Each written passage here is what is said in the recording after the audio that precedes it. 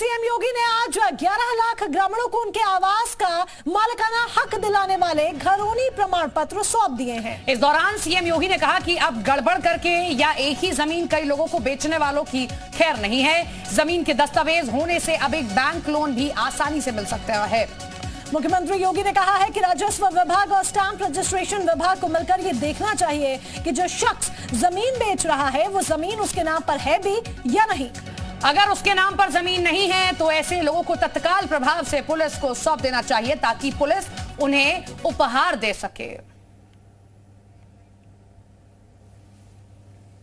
और उस निराश्रित बुज़ुर्ग को, जिसका कोई देखभाल करने वाला नहीं है, उसे वृद्धावस्था पेंशन से जोड़ा जा रहा है। निराश्रित महिलाओं को निराश्रित महिला पेंशन के साथ जोड़ा जा रहा है। दिव्यांगजन पेंशनधारी को दिव्यांगजन पेंशन की सुविधा उपलब्ध करवाई जा रही है। कुछ रोग से पीड़ित लोगों को कुष्ठ, कुष्ठावस्था पेंशन भी उपलब्ध करवाया जा रहा है। 2017 के पहले जो पेंशन की राशि मात्र तीन सौ रुपये थी, विगत पाँच वर्ष के अंदर इस राशि को बढ़ा करके एक हज़ार रुपया किया गया। बारह हज़ार रुपये सालाना उन सभी परिवारों को ये सुविधा उपलब्ध करवाती है सरकार। आज गाँव में कोई व्यक्ति अभाव की ज़िंदगी नहीं जी सकता। हर व्यक्ति के लिए राशन कार्ड है। कोरोना कालखंड में फ्री में राशन की व्यवस्था हुई।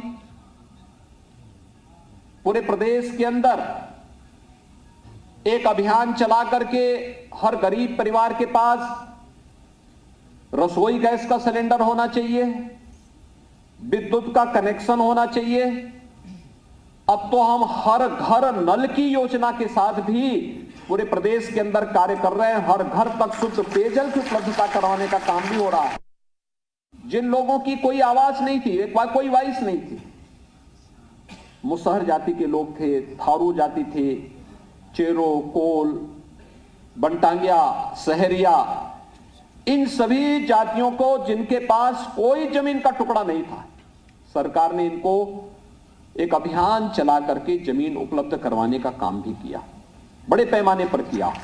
मकान उपलब्ध करवाए।